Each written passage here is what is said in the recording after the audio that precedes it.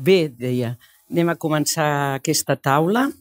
Eh, eh, com no agrair a l'Associació Catalana de Ius Laboralistes i al CG l'haver muntat aquestes jornades, jornades que almenys per la que m'hi respecta tant ahir com avui han sigut molt profitoses i amb molta profunditat en l'abastament dels temes. Eh, comencem, eh, com deia, aquesta taula rodona amb un tema que s'ha anomenat l'acomiadament de la persona treballadora durant la incapacitat temporal. És de tots i totes nosaltres sabut que aquest tema ha tingut un debat molt extens i des de ja fa bastants anys que es remena.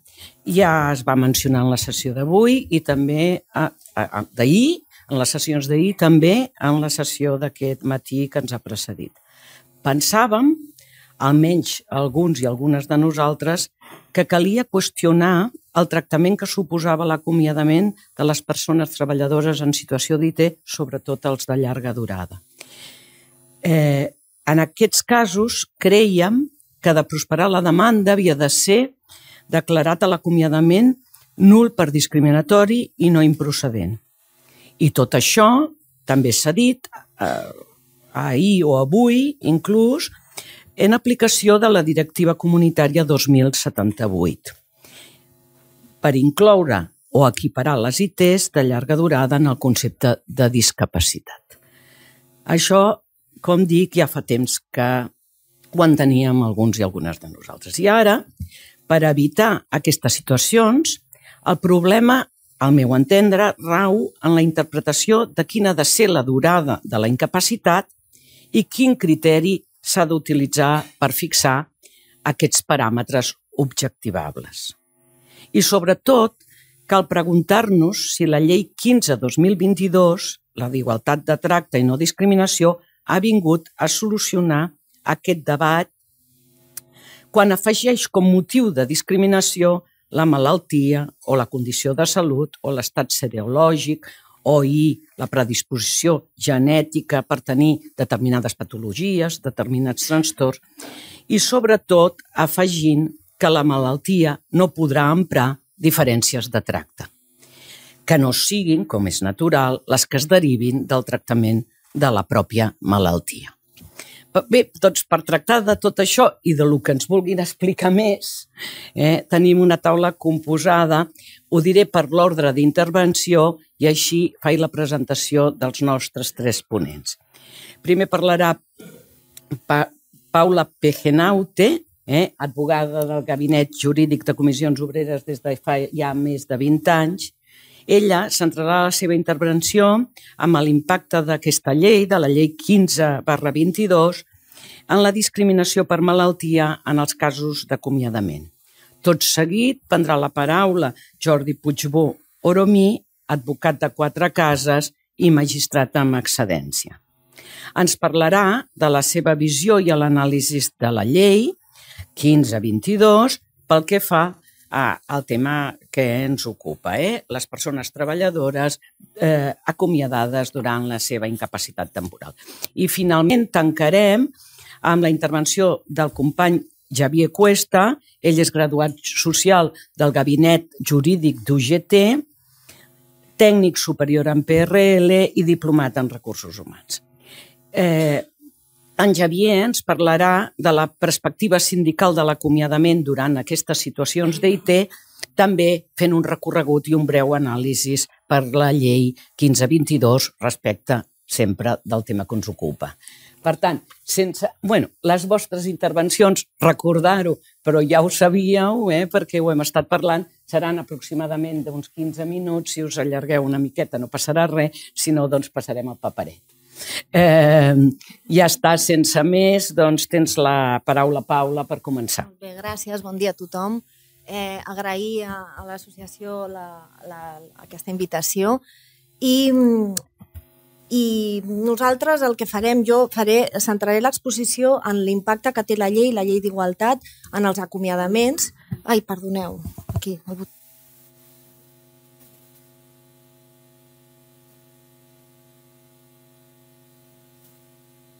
a Teresa. Ara sí, no? Vale. Em, viendo que hay, hay personas de, de, todo el Estado, la hago en castellano si os parece y así no hay convulgueu. La, la, aprobación de la, de la ley, eh, la ley 15 barra 2022 de 12 de julio, integral para la igualdad de trato y la no discriminación, para nosotros ha supuesto, ha puesto sobre la mesa el problema candente e histórico de la conceptualización de la enfermedad o condición de salud como causa de discriminación el artículo 2.1, así lo, cita, y la consiguiente sanción de nulidad prevista para toda cláusula, acto o cláusula discriminatoria. Así lo establece el artículo 26 de la, de la ley.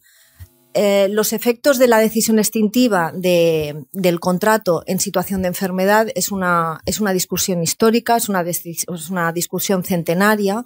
La normativa eh, el despido del trabajador enfermo ha supuesto una fluctuación en toda la normativa, no, no me entretengo. Desde la ley del contrato de trabajo de 1944 y de 1931 se modifica en el 44, mm, Estatuto de los Trabajadores del 80, reforma del 94 y ahí vamos fluctuando y tanto eh, doctrina jurisprudencial como doctrina científica van, van van fluctuando en, la consideración jurídica de, del, despido de un trabajador enfermo. A nivel internacional eh, es importante destacar eh, dos artículos que vienen a decir prácticamente lo mismo. Eh, el artículo 6 del convenio 158 de la OIT y el 24.3F de la Carta Social Europea sobre la terminación de la relación laboral que la ausencia temporal al trabajo por motivo de enfermedad eh, no debe constituir en ningún caso una causa justificada de terminación de la relación laboral.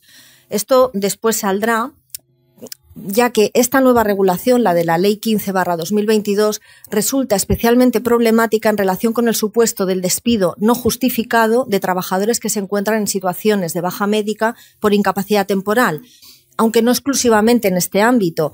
Recientemente hay una sentencia de la Audiencia Nacional de 19 de, de junio de 2023 que establece la, supresión o la reducción por parte de la empresa del sistema de planes de in, incentivos por objetivos de ventas como consecuencia de haberse encontrado el trabajador en situación de incapacidad temporal.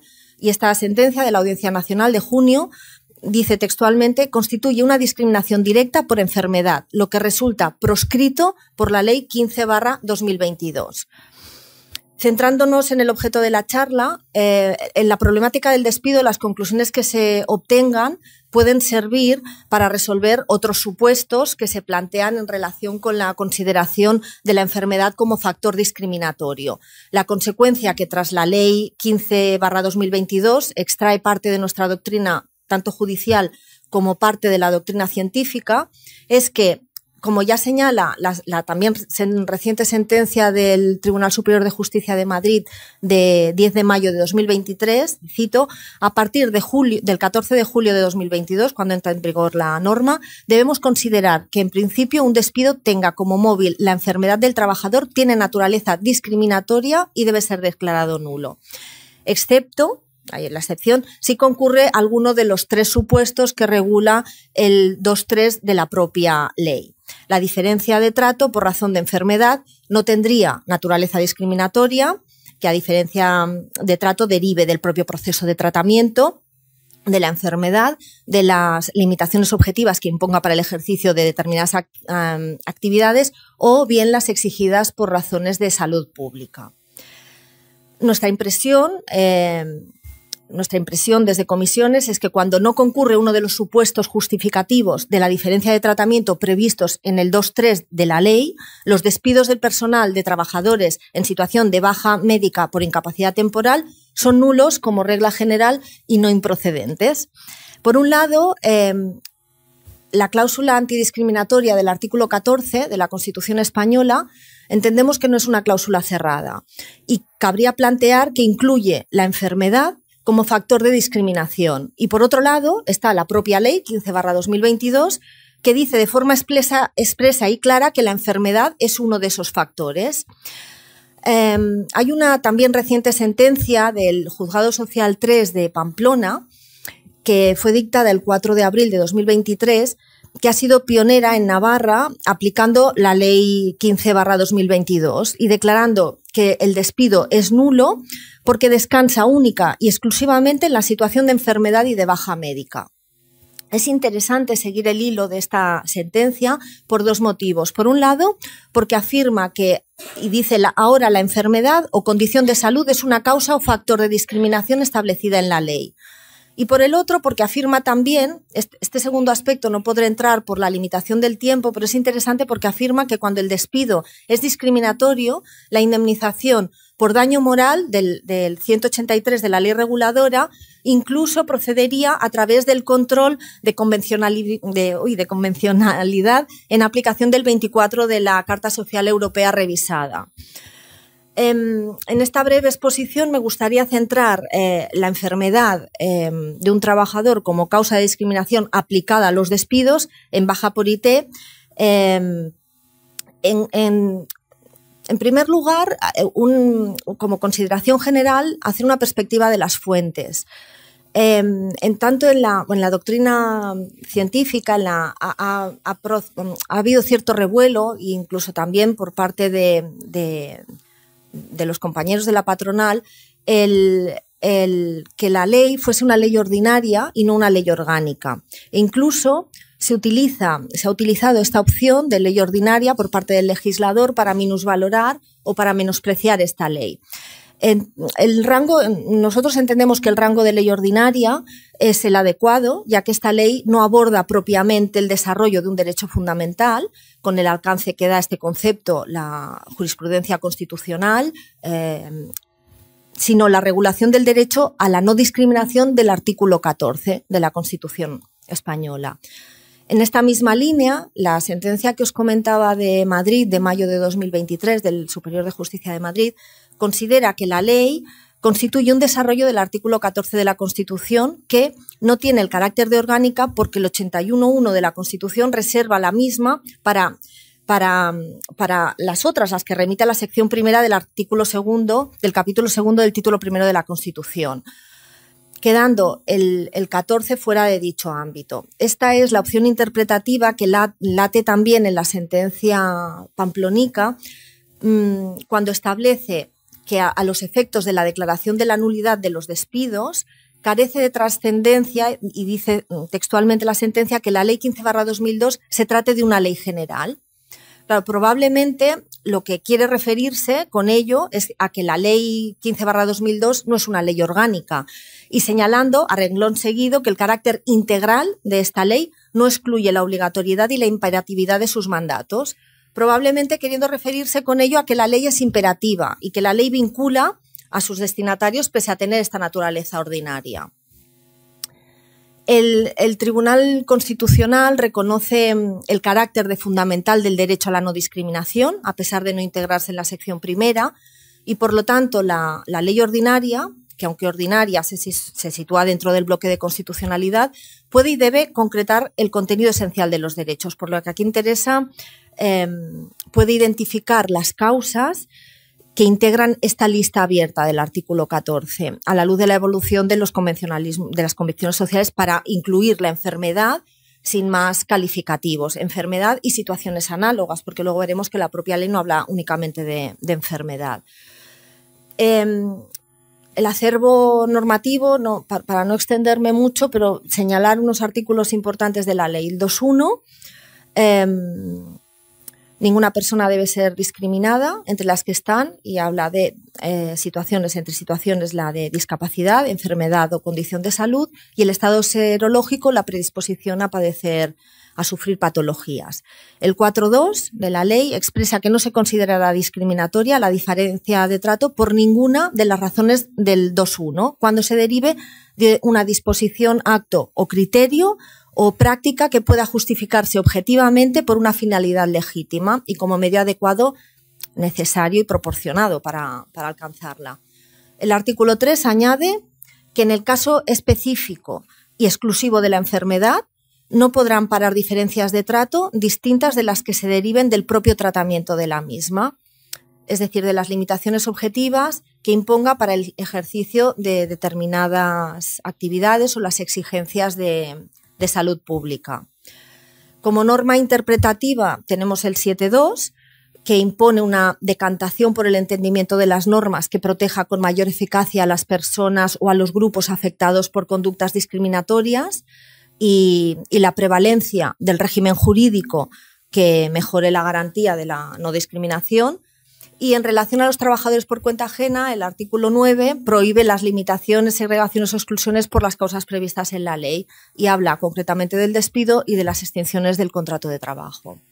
Entonces, a partir de este acervo normativo, mm, nosotros podemos afirmar que la ley 15-2022 em, introduce la enfermedad, además de la condición de la salud, del estado serológico y de la predisposición a padecer determinadas enfermedades o patologías, em, supone un cambio de perspectiva muy positivo en la protección de la persona trabajadora por encima del interés de las empresas. Al final, la situación de enfermedad Em, ya sea una situación, una enfermedad actual, una, una situación de futuro, una situación potencial, eh, no puede servir de justificación eh, válida para un despido o para un tratamiento mm, diferenciado.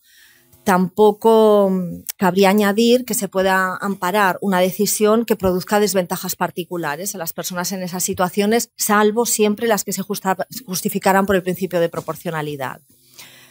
Em, había hecho un pequeño resumen sobre la jurisprudencia en relación a la, normativa inmediatamente anterior a la ley, pero comentándolo nos lo repartimos el trabajo y será Javier quien, quien haga la, fotografía de, esa, de esa jurisprudencia. Luego quería también un poco el, situar que esta ley, aunque parezca obvio, em, la perspectiva de la ley eh, sobre el despido por enfermedad o situaciones análogas o asimiladas se produce desde el derecho a la igualdad y a la no discriminación. La exposición de motivos expresa la especial relevancia social de las incorporaciones expresas, diferentes reconocidas por la Unión Europea, y ahí me remito a la normativa que he dicho al principio de la, exposición, y entre ellas la enfermedad o la condición de salud. Es una obviedad que, en particular, la enfermedad se introduce en contra de los criterios sostenidos tanto por el Tribunal Supremo como por el Tribunal Constitucional. Eh, no se quiere decir en ningún caso que el despido de una persona trabajadora sea automáticamente un despido nulo, pero sí que es verdad que la, que la enfermedad constituye una causa de discriminación odiosa y que así debe ser considerada desde el bloque de constitucionalidad y debe interpretarse, a nuestro entender, desde el sistema jurídico interno, desde esa perspectiva. Mm, de este modo eh, se gesta una causa prohibida eh, cuyo origen debe rastrearse y desde la perspectiva del derecho del trabajo en, la desprotección creciente del contrato que padecían las personas enfermas, expuestas a un despido sin causa em, o, o incluso, muchas de las veces, a un despido cuya causa era precisamente la enfermedad.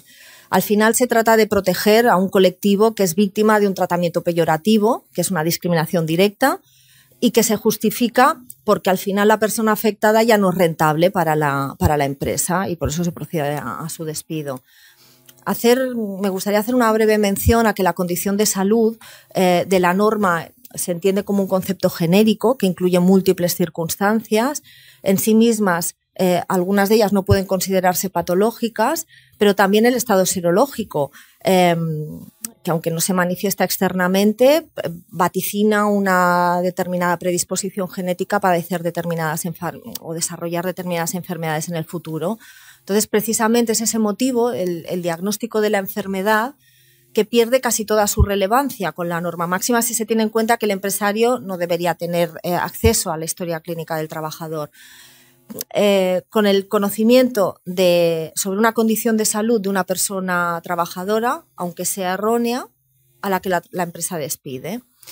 Podemos concluir, o puedo concluir, digo podemos porque siempre esto lo hemos comentado en el, gabinete jurídico del sindicato, es un tema que debatimos, que las novedades de la ley al final se pueden centrar en dos aspectos muy significativos. Uno, que es muy visible, consiste en la identificación de las causas de, discriminación em, alrededor de la enfermedad. La ley ensancha el elenco de, causas prohibidas e introduce unas nuevas causas. porque al final la ley tiene capacidad para ello. Y, el hecho de que el artículo 2.1 las especifique y las detalle em, tiene una trascendencia innegable porque al final tiene una, una, clara vocación de información del sistema jurídico. Y luego, por otro lado, la justificación de la discriminación directa por enfermedad se somete a los criterios rígidos del 4.2 y del, y del 2.2 de la propia ley. Mm, finalizar recalcando que en todo caso el, el, espectro de enfermedad, la condición de salud, el estado serológico y la predisposición genética eh, no tiene cabida para nosotros en la, en la calificación de un despido como despido improcedente, pues o bien la decisión está suficientemente amparada por el 3.2 o constituirá una de las causas prohibidas que lleva aparejada la nulidad del despido.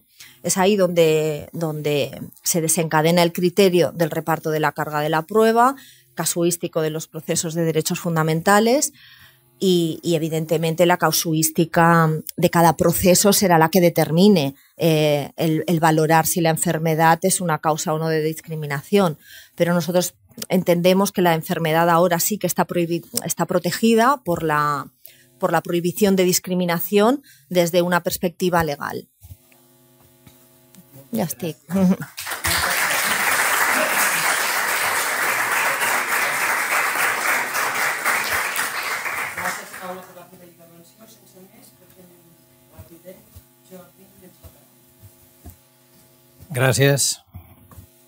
I gràcies a la Teresa, en Xavier, per convidar-me. Gràcies a tots per estar aquí, que veig que teni, ha despertat interès al tema. I passo al castellà perquè sé que hi ha persones de fora de Cataluña aquí y, os cuento mi, lo que yo creo sobre mi punto de vista. Punto de vista, el despacho hemos debatido bastante, hemos creado un, un criterio técnico incluso, tenemos criterios internos para fijar y coordinar criterios y que ha generado mucho debate. ¿eh? Y este no es un tema nuevo. De hecho, lo reformulo. ¿eh? El acompañamiento de la persona trabajadora durante la incapacidad temporal, en realidad, creo que deberíamos decir durante la enfermedad, ¿eh? porque aunque incapacidad y, enfermedad deberían coincidir, puede haber enfermedad sin incapacidad y al revés, podría haber incapacidad sin, sin real enfermedad. y, digo enfermedad asimilando a condición de salud, estado serológico y predisposición a determinadas enfermedades. Este es un tema que no es nuevo.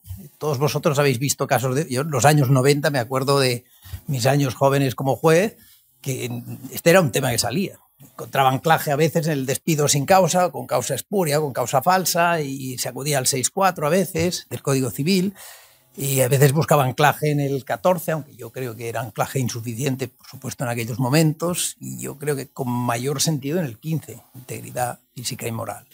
Y, este era el, planteamiento, pero recuerdo sentencias del Supremo, recuerdo una, una ponencia así de Martínez Garrido que era como muy claro, decir, oye, el empresario puede escoger, si las personas, con, lo planteaba así abiertamente, ¿eh? ahora nos parece incompatible con una situación actual, pero era así de, de abierto y de claro, si el empresario decide que hay personas con mayor o con menor productividad, pues esta es una decisión legítima del empresario en cuanto no hay, no hay una enfermedad, una causa odiosa en, nuestra Constitución o el Estatuto de los Trabajadores que recoja la enfermedad. Eh, yo creo que el cambio de paradigma se produce, como otras muchas eh, cuestiones, con decisiones del TJUE y en particular creo que el cambio de paradigma es con la sentencia de Audi y esta sentencia la hemos de agradecer a Joan Agustí, que es el que ha planteado más cuestiones ante el TJUE y esta es una de las, de las que hizo cambiar el planteamiento, pues la recepcionó después en 2018 el Supremo sin... Recepcionó la doctrina, no sé si la aplicó siempre, yo digo siempre que una sentencia, un catedrático muy conocido, que no era de derecho del trabajo, por cierto, me decía que lo importante de una sentencia son los hechos y el fallo, y coincido siempre con él porque a veces tienen razonamientos ocultos las sentencias y, si miras los hechos y el fallo, con estos hechos han dicho esto. Eh, yo creo que mm, consigues una trazabilidad que luego te, te ayuda, por supuesto, hay que leerse los fundamentos jurídicos y estos lo, los, los, citamos todos, ¿no? ¿no? No digo que no, ¿eh? Pero eh, te ayuda a ver el hilo conductor de, unos hechos que lleva.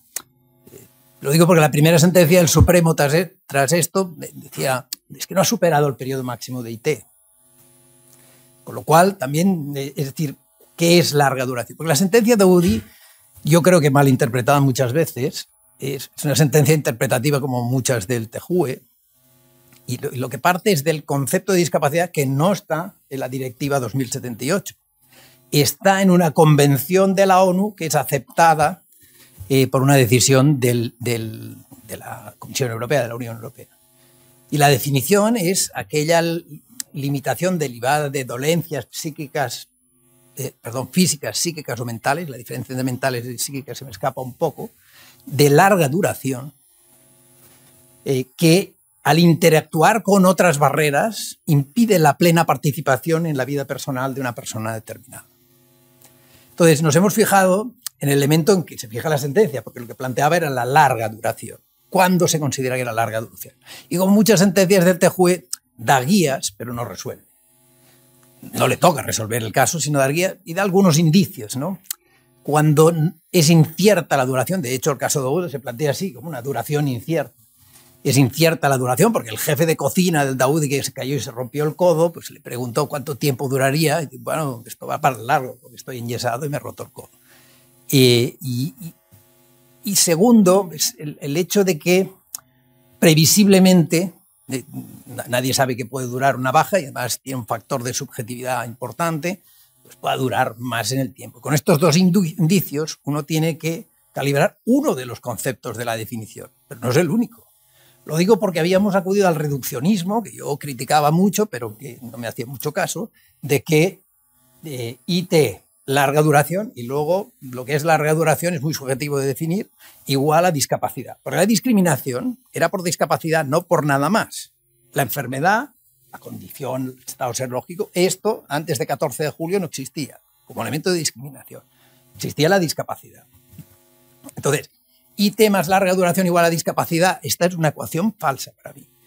Eh, lo era y, creo que lo sigue siendo, porque la definición incluye mucho más. De hecho, hay una sentencia posterior del TJUE que lo, dice, y hay otra del, Tribunal de, Justicia aquí en Cataluña que dice, bueno, sí, sí, larga duración, pero además que interactúe, impida la participación plena, porque una gripe, por supuesto, y discapacidad, pues parece que no, no encajan, salvo bueno, COVID crónico, supongo que puede, puede encajar.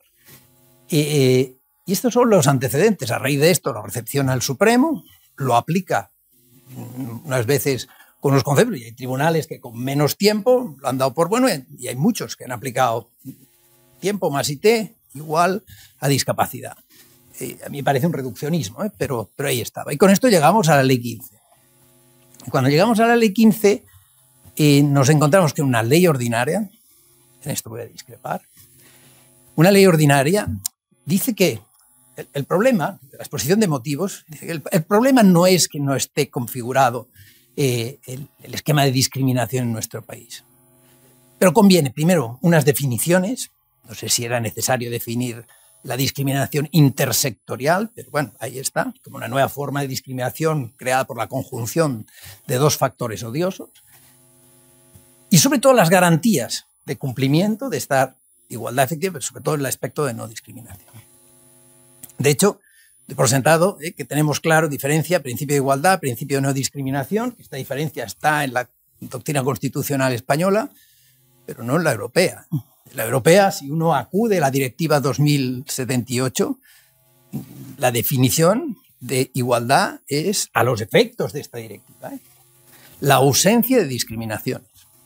Es decir, que viene a ser, si no hay discriminación, ya nos vale como igualdad. Aquí exigimos más. Exigimos igualdad absoluta en la ley, en la aplicación de la ley, es decir, ámbito de la norma jurídica, incluido convenio colectivo, y en las administraciones públicas, lógicamente. En el ámbito privado, recordar la sentencia 3484, la primera del Constitucional que se planteó sobre esto de Díaz Picazo, que decía, en el ámbito privado hay un espacio para la autonomía de la voluntad y no se impone una equiparación. Solo aquellas causas odiosas que por estar relacionadas con factores históricos de opresión y segregación, la lista del 14 y del 17 del Estatuto, ahí hay discriminación. Solo cuando concurren estos. Por tanto, Juan puede ser tratado distinto de Pedro, salvo que lo sea por alguno de estos motivos relacionados en estos preceptos.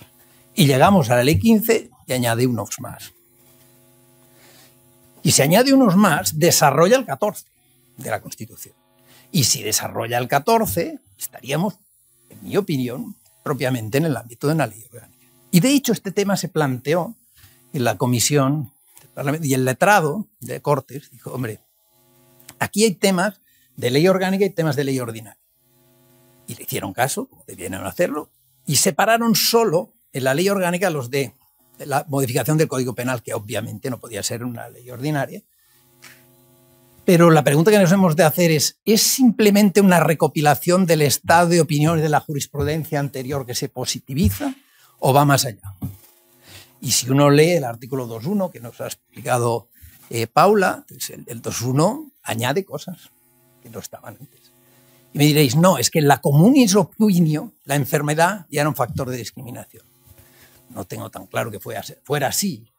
Y no tengo tan claro que fuera nuestra jurisprudencia. Bueno, tengo claro que no era el estado de nuestra jurisprudencia, ni la constitucional, ni de la jurisprudencia ordinaria, que enfermedad tuviese que equipararse a una de las caso condiciones de personal o social, que es la, la cláusula genérica del 14.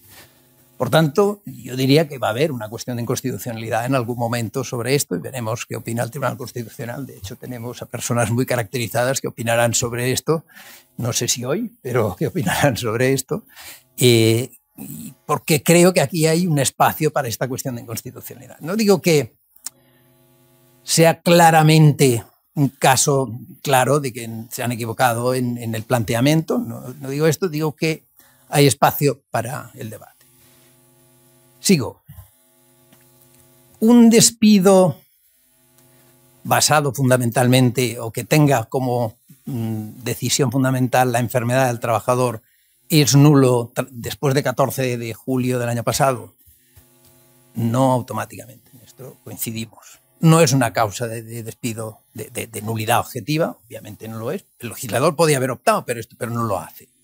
Simplemente lo reconduce al espacio del 14. Incluye dentro del concepto de discriminación, dentro de las causas odiosas de discriminación, estas cuatro. ¿eh? Incluye alguna más, por ejemplo, la expresión de género tampoco estaba contenida, al menos directamente como tal. Alguno puede decir que estaba derivada de sexo o género, pero bueno, no estaba contenida, explicitada. Y por tanto, enfermedad, condición de salud, estado serológico y, predisposición a sufrir determinadas enfermedades se introducen aquí como factores odiosos directamente. Por tanto, ante un caso de despido, eh, que las pruebas permitan inducir indicios suficientes de que ha sido basado por la razón de la enfermedad o por esta predisposición o por condición de salud, hay una inversión de la carga de la prueba y esta inversión de la carga de la prueba provoca que deba eh, el empleador aportar elementos objetivos y razonables que justifiquen la medida adoptada.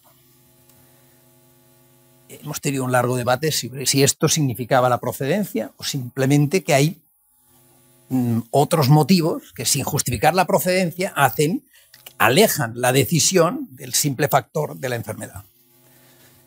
Yo me acojo a esta última teoría porque creo que es el Tribunal Constitucional, yo le llamaba el despido multi, multicausal Pluricausal, perdón, sí, pluricausal. Eh, yo creo que puede haber despidos que a lo mejor no convencen en cuanto a las causas a la sala para dar la procedencia, pero que claramente hay un motivo, se verá fundado o no en derecho español, suficiente o no en derecho español, pero al menos se considera suficiente para alejar el propósito discriminatorio o el factor discriminatorio o para, para hacer que el indicio quede neutralizado por una, vamos a decir, exposición suficientemente fundada de las razones por las que la empresa ha despedido, que, no son una patraña, no son un invento, sino, por ejemplo, se ha despedido a otras personas de un mismo departamento. Hombre, salvo que haya una discriminación por asociación generalizada, ¿no? que para despedir uno te cargas a todo el departamento, que es matar moscas a cañonazos que no suelen hacer las empresas. Porque lo que les interesa es hacerlas su propio propósito, ¿eh? no, no, no, no despedir a quien no necesitan despedir.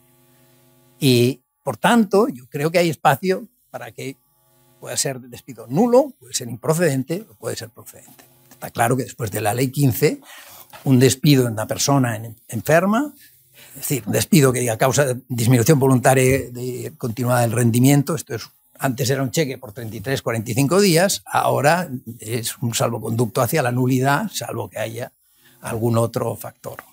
Tiene que estar en la carta este otro factor. las razones mm, tienen que estar en la carta o puede que para romper el panorama eh, debamos hacerlo fuera, mm, puede hacerse fuera. Ahí hay un espacio para el debate importante. Es decir, mm, no sé si esto es la causa del despido o la causa de que el despido no esté relacionado directamente con la enfermedad. Pero ahí sí que hay un espacio importante para el debate. Y una última cosa, mm, nulidad, reparación, las cuatro, las cuatro condenas de, la ley reguladora, la indemnización, claro, la, ley, la ley 15, ah, forma todo un listado de, sanciones superiores a la LISO. Y no aplica la LISOS a este ámbito. El ámbito social no aplica, perdón, la LISOS y no la ley 15 no sé si los baremos que llegan hasta medio millón de euros que utiliza la nueva ley 15 pueden ser mm, utilizados para fundamentar indemnizaciones superiores. Ahora yo tengo ahora uno de varios millones de euros de indemnización la semana pasada tuve uno de 500.000, o sea que no veremos, luego no será ninguno ¿eh? de estos, pero, pero, pero ahí están ¿eh? pidiendo abultadas cantidades. y yo también ¿eh? creo que es acertada la doctrina del Supremo que la simple invocación de la LISOS no es suficiente. Que al tribunal hay que proveerle, habla de siete u ocho listas, ¿no? Pues la gravedad de la infracción, la reincidencia que se haya producido, el daño que haya producido moral o socialmente a la persona, el impedimento que le haya causado para obtener nuevo trabajo, es decir, lista de cinco o seis, que creo que en una demanda de derechos fundamentales y de despido nulo deben estar. No m'has donat targeta vermella? No. Eh? T'has ajustat exactament el temps. Moltes gràcies. Gràcies. Jordi, per la teva intervenció i també, Javier, tens la paraula ja. Moltes gràcies. Eh, bon dia a totes i a tots. Eh, buenos días a todas y a todos. En primer lugar, pues, igual que mis compañeros, agradecer eh, a los organizadores de estas jornadas la fantástica oportunidad de estar aquí con, con, todos vosotros y vosotras. Yo también haré mi intervención en castellano y bueno, intervenir el último siempre es muy complicado, ¿no? porque mm, efectivamente me ha vuelto a pasar, mis compañeros ya han dicho todo lo que yo iba a decir. Eh, pero bueno, intentaremos aportar algún, algún dato nuevo. creo que todos los que estamos aquí, en alguna ocasión, y en más de, dos y de tres, hemos sufrido el asalto de amigos y o familiares, ¿no? en cenas y comidas, que de repente te dicen, eh, oye, tú que te dedicas a esto, eh, ¿me pueden despedir estando de baja? Entonces, yo ofrezco dos alternativas, la respuesta corta o la larga. La larga solo es para los que me invitan. La, corta es, sí, efectivamente, te pueden despedir estando de baja. Y la larga, que es cuando me pagan la cena o la comida, es sí, y en ese pero es donde yo encuentro lo interesante. ¿no? E, el pero es, por suerte, esta, esta fantástica ley 15-2022, que digo fantástica, pero que creo que todavía hoy por hoy es insuficiente. Eh, vamos a empezar por, por lo fácil. Eh. Si una empresa despide a una persona trabajadora con ocasión o consecuencia de, su estado de salud, para mí en principio sería más que suficiente con invocar la Constitución el artículo 14 de la Constitución. Es decir, estoy enfermo, la empresa me despide porque estoy enfermo o tengo una patología previa o posterior y por lo tanto ese despido debería ser nulo. ¿Mm? Eh, pues parece que no ha sido suficiente, efectivamente, con el artículo 14 y se ha hecho necesario eh, la, creación de esta ley, como digo, 15-2022, para empezar a ponerle hilo a la aguja frente a una situación desgraciadamente cada día más frecuente en nuestro día a día y que nos encontramos eh, en los despachos. ¿no? Eh, ahora que no nos escucha nadie, imaginemos una pequeña empresa, una pequeña empresa, unos pocos, unas pocas personas trabajadoras. Si tiene a una persona trabajando para ella y observa que coge o puede empezar a coger de forma sistemática eh, la baja, ¿qué va a hacer esa empresa? Pues lógicamente, entiendo yo, velar por sus intereses, ¿no?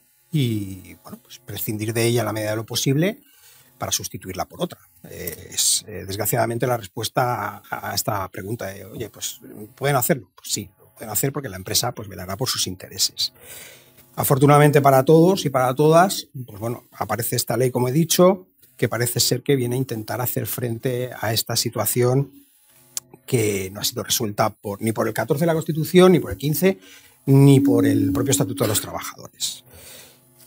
Vamos a hacer un poco de historia. La doctrina tradicional ha venido entendiendo que cuando no había causa legal para la extinción del contrato de trabajo y la causa real no se encontraba entre las tipificadas como eh, determinantes de nulidad del despido, la calificación que se debía aplicar a ese despido era la improcedencia. Es decir, el punto de partida es, es improcedente, no es nulo.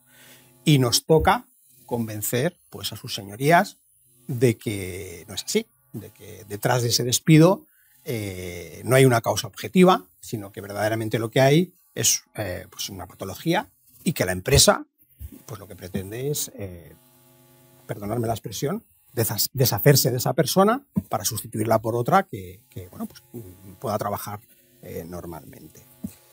En concreto, cuando el despido se producía sin causa alguna y el trabajador se llevaba de baja, médica, la jurisprudencia consideraba el despido como improcedente y no nulo, y en este caso, independientemente de que el motivo de la baja fuera derivado de una contingencia común o una profesional.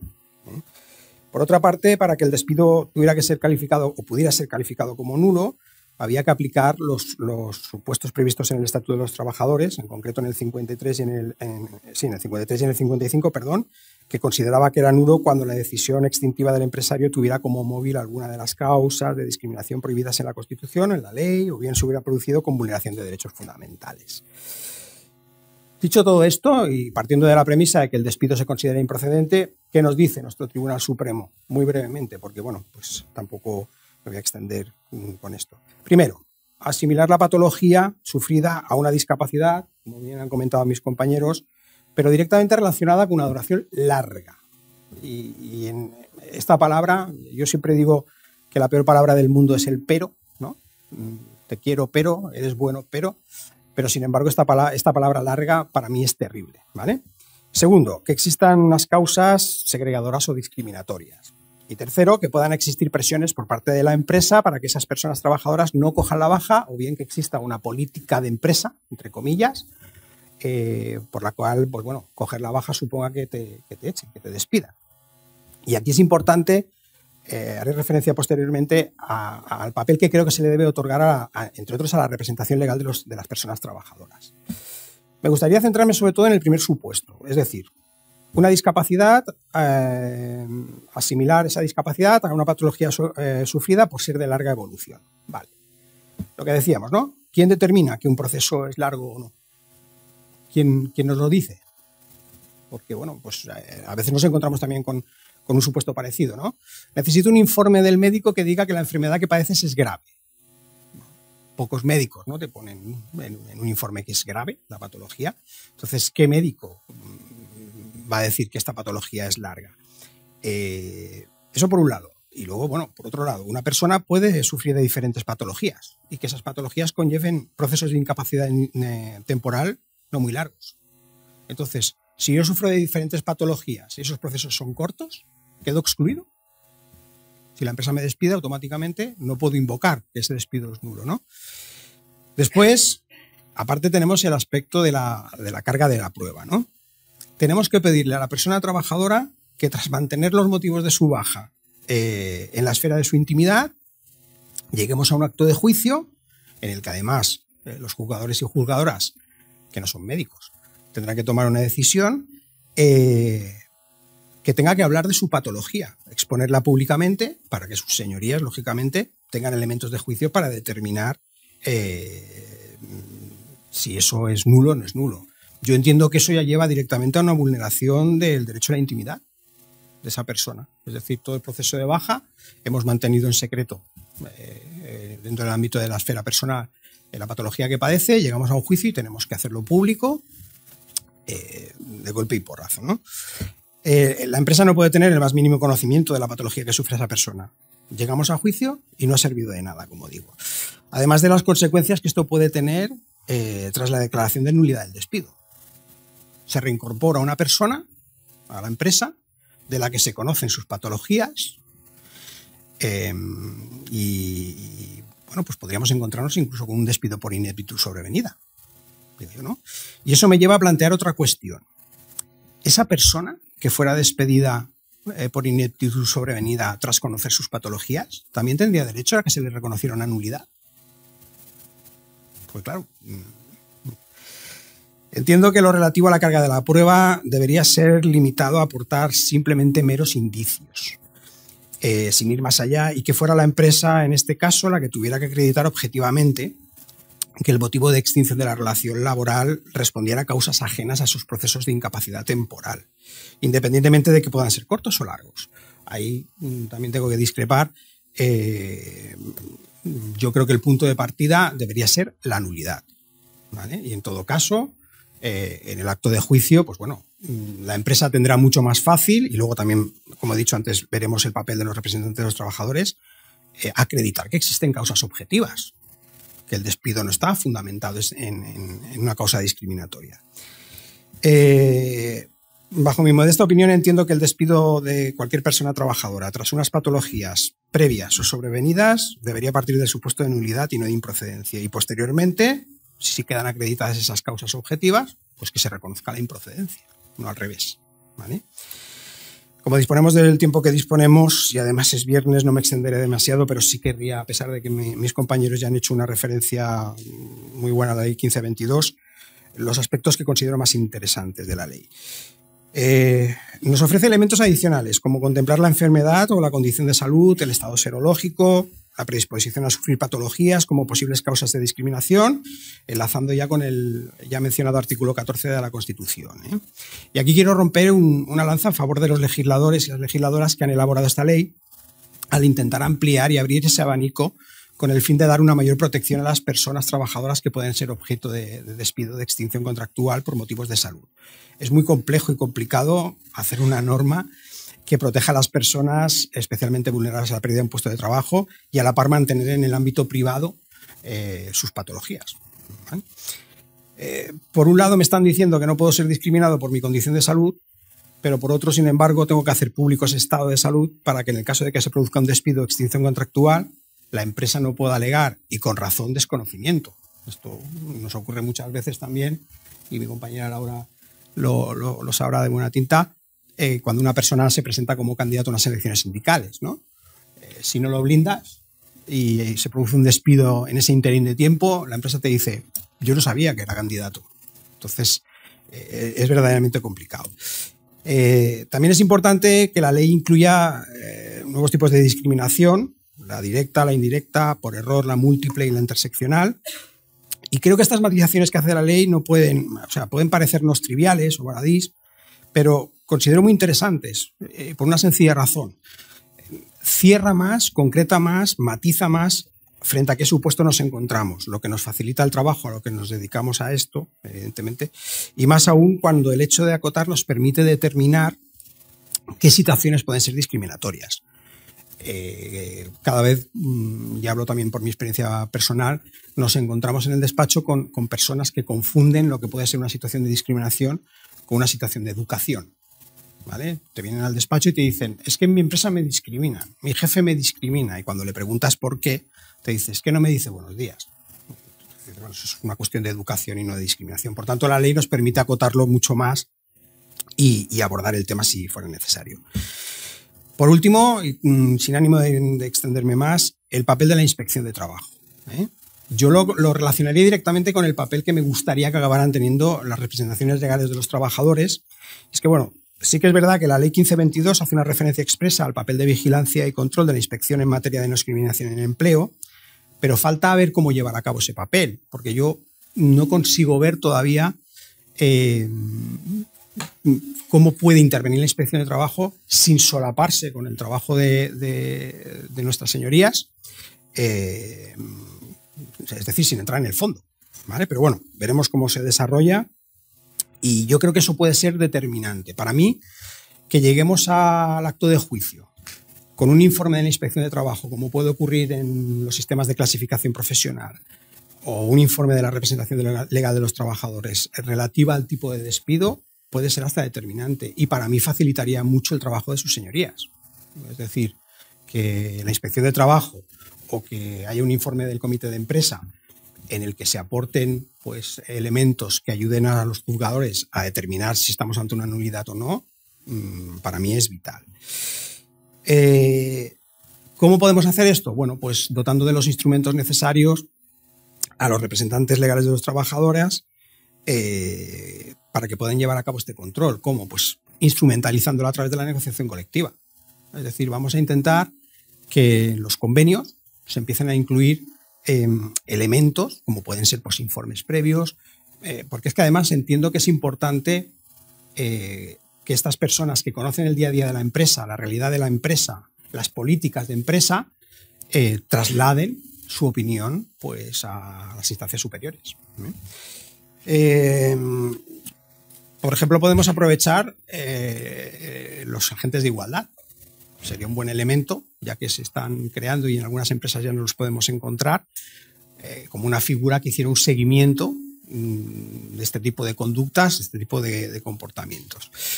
A modo de conclusión, bajo mi modesta opinión, cuando llega al despacho un caso de una persona despedida y que cuenta con un historial de bajas médicas justificadas o de patologías previas a ese despido, ese despido debería empezar por ser considerado como nulo, o al menos con suficientes indicios de nulidad. Habrá que analizar con, detenimiento, evidentemente, cada caso en concreto y cada una de las causas que rodean a la extinción contractual para poder constatarlo de manera fehaciente y que existen causas ajenas a la incapacidad temporal que justifiquen el despido de esa persona, yendo más allá de aspectos de la duración. Yo lo de la duración no acabo de entenderlo, pero bueno. Por último, ¿qué pueden hacer las empresas? Porque bueno, yo también he estado en el otro lado, por suerte para mí, y bueno, pues, ¿qué pueden hacer las empresas frente a situaciones en las que una persona sistemáticamente coge la baja. Eh, bueno, mm, en primer lugar partimos de la premisa que esa persona tiene una baja justificada por un facultativo. Tenemos que presuponer que es válida, pero bueno, también tenemos los, eh, las mutuas. Se pueden emitir propuestas de alta, continuamente estamos eh, trabajando sobre esas materias y mm, proponer, hacer propuestas de alta. Si el, Tribunal Médico considera que esa baja no justificada, le darán el alta. Con lo cual, y ya no me extiendo más. Eh, por último, lanzo una pregunta, lanzo el guante a sus señorías. Señorías, ¿me pueden despedir estando de baja? Y quiero la respuesta larga, por favor. Gracias.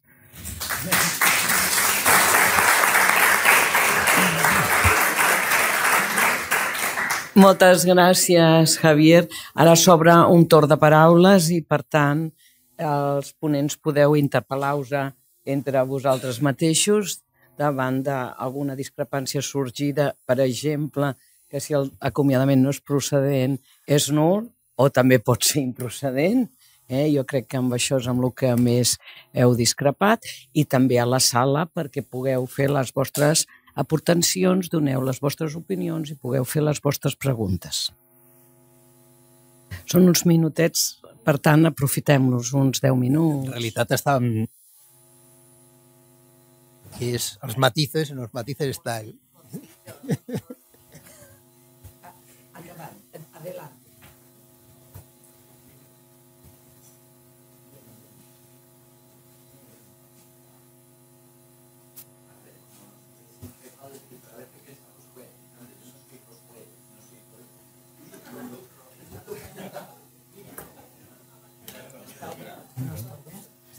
ahora está bien, ¿no?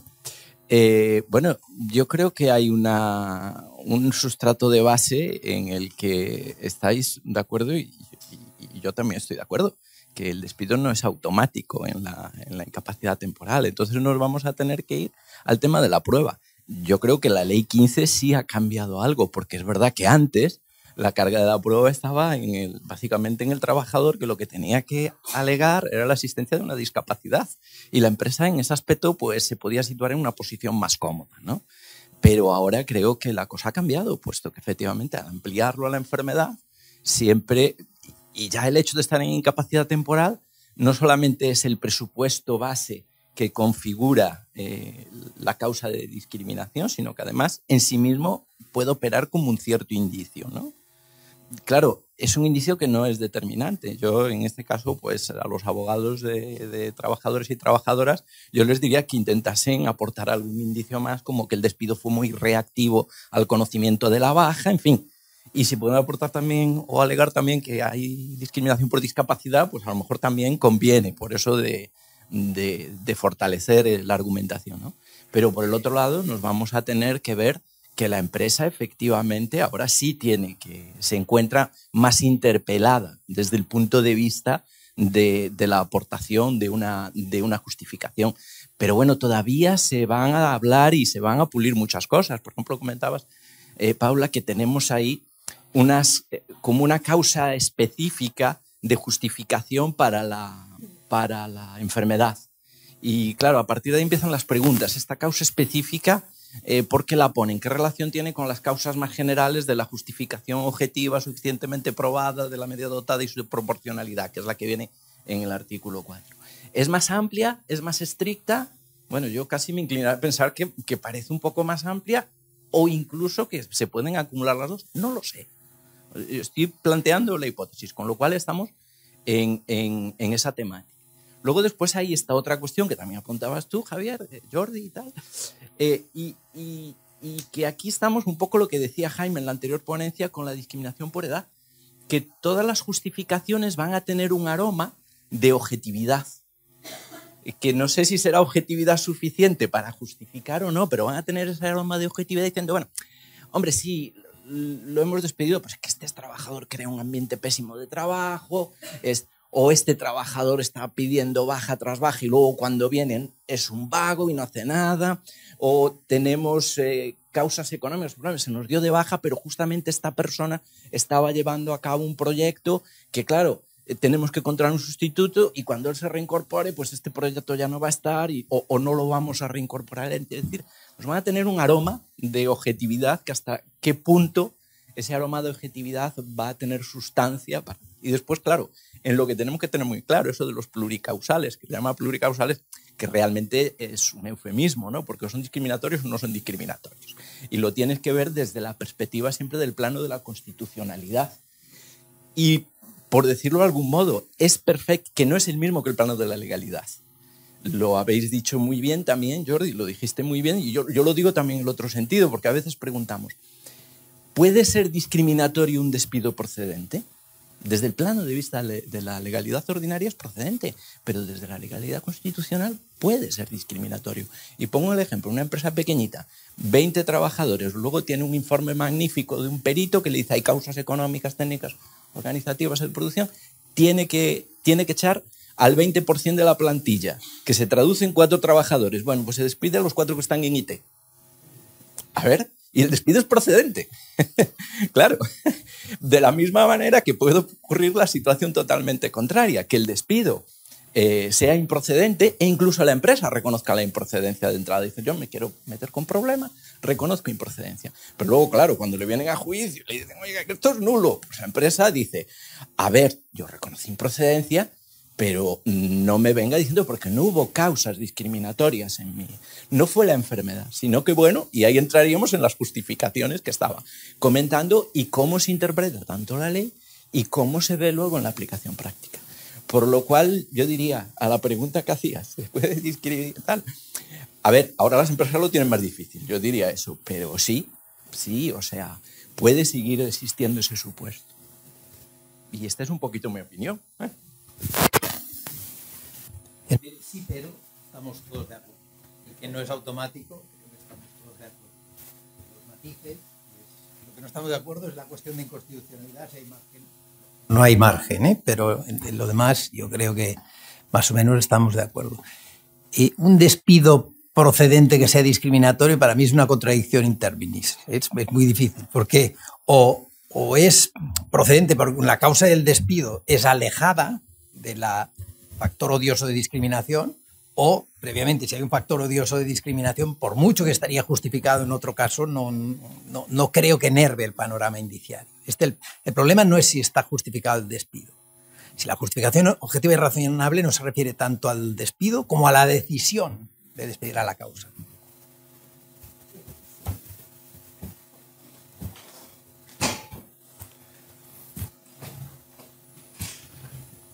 Que bueno, yo voy a retomar un poco lo que ha dicho Fernando, eh, que parece que es una cosa muy, muy objetiva cuando hay un despido colectivo y hay necesidad de prescindir de un número determinado de trabajadores. no de toda la plantilla, por supuesto. En el caso este fue una sentencia, que, dos que dicté yo, eh, me costó un poquito sacarlas adelante, pero salieron. Entonces, ¿qué pasaba? Había causas para despedir a un determinado número de trabajadores, había causas para despedir a un determinado número de trabajadores de un departamento determinado. Pero precisamente ahí se eligió para despedir a una trabajadora que estaba en suspensión de contrato por cuidado de hijo, dato que la empresa conocía perfectamente. Y entonces aquí lo que se dijo es que en estos casos que hay una eh, bueno, quizás sospecha o aroma, como has dicho tú muy bien, de que hay una vulneración de un derecho fundamental, la empresa tiene que reforzar la justificación de por qué ha elegido a esa persona. No que no haya causas, que sí que las hay. No que no sea mm, adecuado despedir a varios trabajadores de ese departamento, que sí que lo es, pero ¿por qué precisamente a ella? Eh, no aportó un elemento de decir no porque necesitábamos a alguien que supiera francés y los otros sabían o inglés y ella no sabía o porque tuvieran conocimientos informáticos y ella no. No, no, hay causas efectivamente y se la despide. Y entonces en estos hubo dos.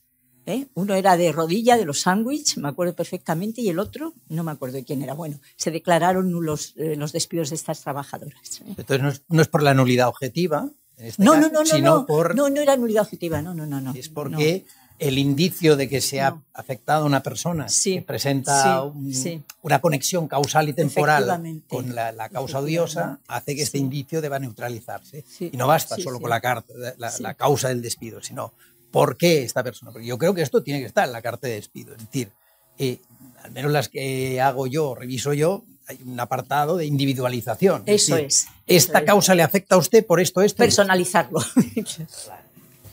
yo creo que sí. Sí,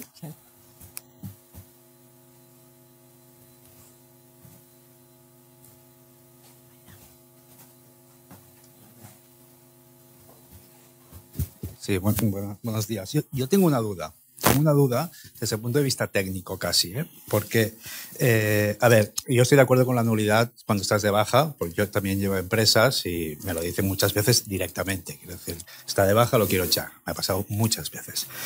Pero mi pregunta sería, o mi duda sería, ¿puede la ley como ha hecho, como ha hecho introducir una causa de discriminación, una causa de discriminación? Quiero decir, porque yo lo que he leído de discriminación es que eran hechos objetivos y sociales, nos lo ha dicho el Tribunal Supremo. Entonces, ¿puede la ley hacer esto? Quiero decir, ¿por qué? Porque si ya era una situación de discriminación, la ley 15 no sirve de nada, ya estaba. Porque era una situación de discriminación. Lo digo porque el Tribunal Supremo lleva muchos años diciendo salvo supuestos como era el de la propia enfermedad que podía ser discriminatoria, como el SIDA o la discapacidad de larga duración, no era discriminatorio. Y muchos años eh, lleva diciendo esto. Entonces, yo encuentro aquí un problema técnico.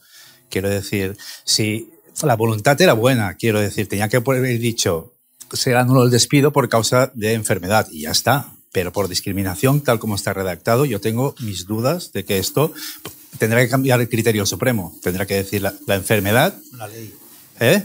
Pero la ley puede introducir eh, directamente una cosa de discriminación. siempre nos han dicho que era un hecho social y objetivo. Eran grupos discriminados en la sociedad, en, el mercado laboral.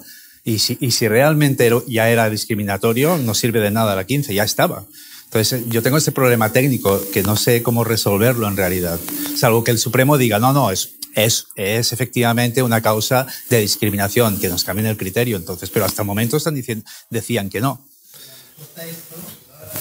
Un poco lo que hemos planteado de la cuestión de inconstitucionalidad, es decir, la ley orgánica puede desarrollar y puede mm, perfilar los contornos, ampliándolo de, de, las, de los motivos discriminatorios, es decir, puede eh, cualquier otra condición o circunstancia personal o social del 14 lo puede desarrollar y lo hará en función del tiempo. Quizá la enfermedad en el año 90 no se veía comúnmente como un motivo odioso, ahora puede que haya más opinión en este. Bueno, de hecho, los legisladores lo han aprobado, por tanto, la mayoría de nuestro Parlamento piensa que debe ser así.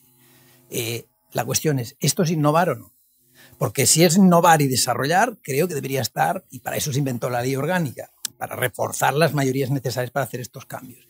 Si por el contrario lo que hace es positivizar algo que ya estaba, entonces con una ley ordinaria bastaría. Yo creo que este es el debate. Pero con una ley puede rectificar al Supremo, está ejemplos llenos. ¿eh? En materia de seguridad social hay muchísimos.